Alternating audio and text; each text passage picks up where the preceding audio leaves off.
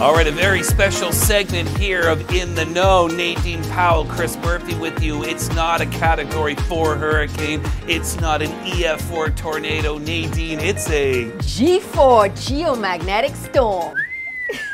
All right. Okay, so that began last night. Mm -hmm. It's actually going to peak during the day, Murphy's Law, mm -hmm. during the day, but it will still be strong enough this evening. And what exactly happens for this to occur? Okay, well, we need the sun for everything. Mm -hmm. We get mm-hmm. what we call the coronal mass ejection. Let's just pause on that for a moment. The greatest three words in the English language. all of those particles emitted from yes, the sun indeed. directed towards Earth Correct. being captured by our magnetic shield Thank or our magnetic for field. That. Yes, because it protects us from all of that radiation. All right. So this is the science behind it. Right. This is what it looks like in the night sky if you're lucky enough to see it. So you get some incredible footage, Nadine. Oh my goodness, and I have not yet been able to view the aurora. Come on. I went chasing one yes. time and completely missed me. I don't know, maybe I was asleep It something. was a failed chase, yes. was it? That's okay. Mark Robinson knows a thing mm. or two about a failed chase, by the way.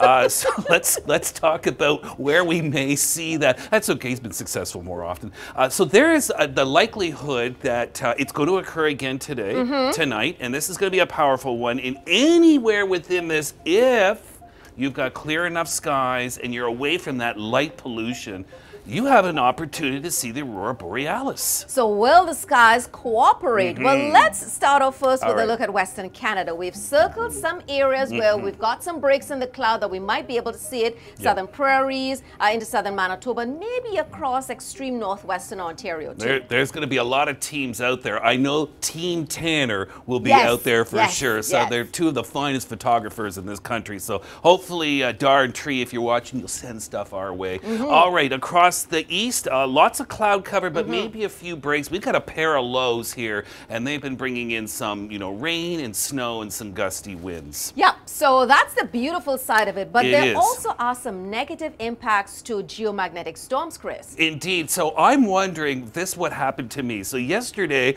I had a brief power outage mm -hmm. in my, my location, and then it came back on, and my internet was down. I called Bell. Mm -hmm. They couldn't fix it. They said, go get get a new uh, modem. Mm. So I was, then I'm at the store and I'm getting like three and a half hours that I'll never get You'll back. never get back. But anyways, so I'm wondering if that maybe was related to it. Yeah, because we're such a hmm. technology-driven society. Yeah. We have impacts to the power grid, to communications. Totally. So we can have some interruptions there. All right, overnight, if you're going to be doing some uh, some uh, geomagnetic storm chasing, mm -hmm. we've got uh, pretty cool temperatures uh, but not overly cold, but still, you want to be, if you're going to be outside, you want to be dressing for the elements. Let's talk precipitation now, uh, Nadine. Let's begin in the west. We've got a lot of high pressure for the prairies, but the BC coast looks like rain showers coming on back. Yeah, rain moving in for us throughout the day today, and that'll continue for us into Thursday, maybe even into Friday yes. as well. Mm -hmm. And then as we head into our Friday, you mm -hmm. see the tail mm-hmm. end of that cold front, oh, bringing yeah. some snow down towards southern Alberta. You are going to have Chinook winds in Alberta on Thursday, and then Friday, that's done. So temperatures are going to drop by almost 10 degrees and